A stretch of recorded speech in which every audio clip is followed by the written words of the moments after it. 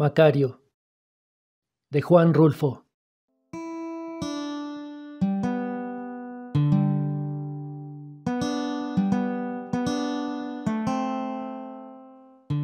Estoy sentado junto a la alcantarilla, aguardando a que salgan las ranas.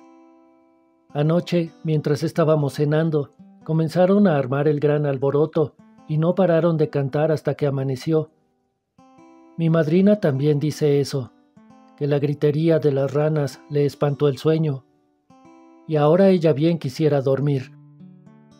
Por eso me mandó a que me sentara aquí, junto a la alcantarilla, y me pusiera con una tabla en la mano, para que cuanta rana saliera a pegar de brincos afuera, la apalcuachara a tablazos. Las ranas son verdes, de todo a todo menos en la panza.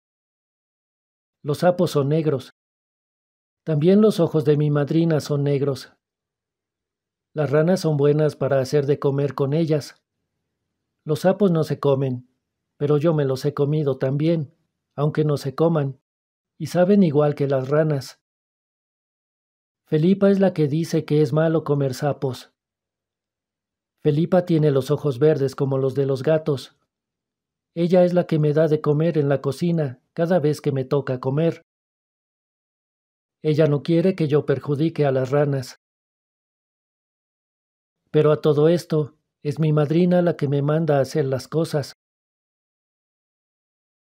Yo quiero más a Felipa que a mi madrina, pero es mi madrina la que saca el dinero de su bolsa para que Felipa compre todo lo de la comedera. Felipa solo se está en la cocina arreglando la comida de los tres. No hace otra cosa desde que yo la conozco. Lo de lavar los trastes a mí me toca. Lo de acarrear leña para prender el fogón también a mí me toca. Luego es mi madrina la que nos reparte la comida. Después de comer ella, hace con sus manos dos montoncitos, uno para Felipa y otro para mí. Pero a veces Felipa no tiene ganas de comer, y entonces son para mí los dos montoncitos. Por eso quiero yo a Felipa, porque yo siempre tengo hambre y no me lleno nunca, ni aun comiendo la comida de ella. Aunque digan que uno se llena comiendo, yo sé bien que no me lleno por más que coma todo lo que me den. Y Felipa también sabe eso. Dicen en la calle que yo estoy loco porque jamás se me acaba el hambre. Mi madrina ha oído que eso dicen. Yo no lo he oído, mi madrina no me deja salir solo a la calle. Cuando me saca a dar la vuelta es para llevarme a la iglesia a oír misa. Allí me acomoda cerquita de ella y me amarra las manos con las barbas de su rebozo. Yo no sé por qué me amarra mis manos, pero dice que porque que luego hago locuras. Un día inventaron que yo andaba ahorcando a alguien, que le apreté el pescuezo a una señora, nada más por no más. Yo no me acuerdo. Pero a todo esto, es mi madrina la que dice lo que yo hago, y ella nunca anda con mentiras. Cuando me llama a comer es para darme mi parte de comida, y no como otra gente que me invitaba a comer con ellos, y luego que me les acercaba, me apedreaban hasta hacerme correr sin comida ni nada. No, mi madrina me trata bien. Por eso estoy contento en su casa, Además, aquí vive Felipa. Felipa es muy buena conmigo. Por eso la quiero. La leche de Felipa es dulce como las flores del obelisco. Yo he bebido leche de chiva y también de puerca recién parida, pero no, no es igual de buena que la leche de Felipa. Ahora ya hace mucho tiempo que no me da a chupar de los bultos esos que ella tiene donde tenemos solamente las costillas y de donde le sale, sabiendo sacarla, una leche mejor que la que nos da mi madrina en el almuerzo de los domingos. Felipa antes iba todas las noches al cuarto donde yo duermo, y se arrimaba conmigo, acostándose encima de mí o echándose a un ladito. Luego se las ajuareaba para que yo pudiera chupar de aquella leche dulce y caliente que se dejaba venir en chorros por la lengua. Muchas veces he comido flores de obelisco para entretener el hambre, y la leche de Felipa era de ese sabor, solo que a mí me gustaba más porque, al mismo tiempo que me pasaba los tragos, Felipa me hacía cosquillas por todas partes. Luego sucedía que casi siempre se quedaba dormida junto a mí hasta la madrugada. Y eso me servía de mucho, porque yo no me apuraba del frío, ni de ningún miedo a condenarme en el infierno si me moría yo solo allí, en alguna noche. A veces no le tengo tanto miedo al infierno, pero a veces sí. Luego me gusta darme mis buenos sustos con eso de que me voy a ir al infierno, cualquier día de estos, por tener la cabeza tan dura y por gustarme dar de cabezazos contra lo primero que encuentro. Pero viene Felipa y me espanta mis miedos. Me hace cosquillas con sus manos como ella sabe hacerlo, y me ataja el miedo, ese que tengo de morirme. Y por un ratito hasta se me olvida. Felipa dice, cuando tiene ganas de estar conmigo, que ella le contará al Señor todos mis pecados, que irá al cielo muy pronto y platicará con él, pidiéndole que me perdone toda la mucha maldad que me llena el cuerpo de arriba a abajo.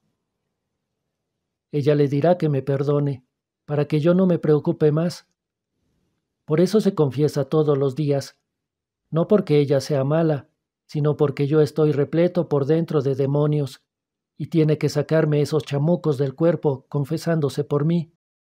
Todos los días, todas las tardes de todos los días. Por toda la vida ella me hará ese favor. Eso dice Felipa. Por eso yo la quiero tanto. Sin embargo, lo de tener la cabeza así de dura es la gran cosa. Uno da de topes contra los pilares del corredor horas enteras y la cabeza no se hace nada, aguanta sin quebrarse. Y uno da de topes contra el suelo, primero despacito, después más recio, y aquello suena como un tambor.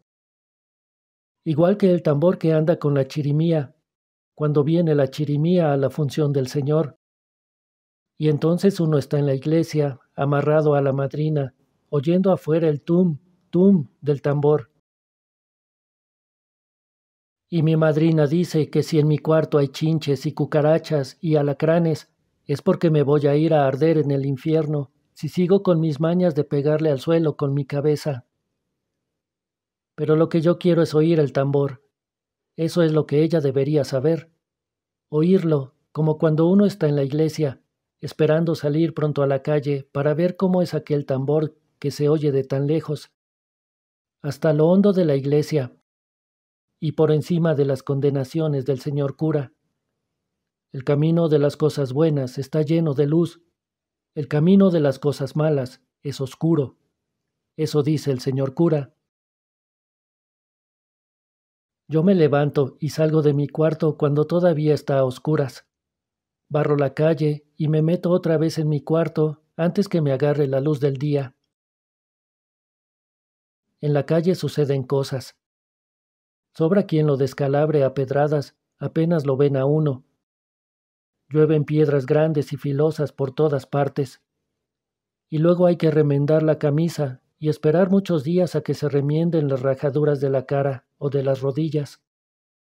Y aguantar otra vez que le amarren a uno las manos porque si no, ellas corren a arrancar la costra del remiendo y vuelve a salir el chorro de sangre. Ora que la sangre también tiene buen sabor, aunque, eso sí, no se parece al sabor de la leche de Felipa. Yo por eso, para que no me apedreen, me vivo siempre metido en mi casa. Enseguida que me dan de comer, me encierro en mi cuarto y atranco bien la puerta, para que no den conmigo los pecados mirando que aquello está a oscuras. Y ni siquiera prendo el ocote para ver por dónde se me andan subiendo las cucarachas.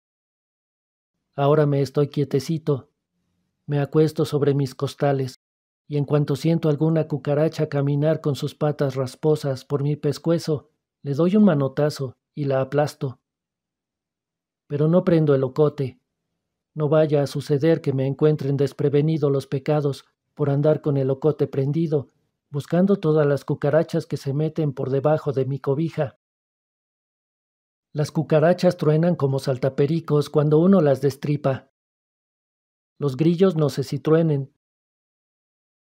A los grillos nunca los mato.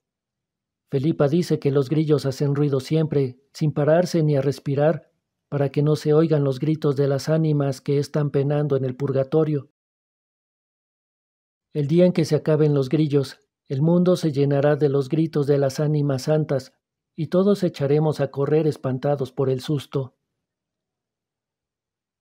Además, a mí me gusta mucho estarme con la oreja parada, oyendo el ruido de los grillos.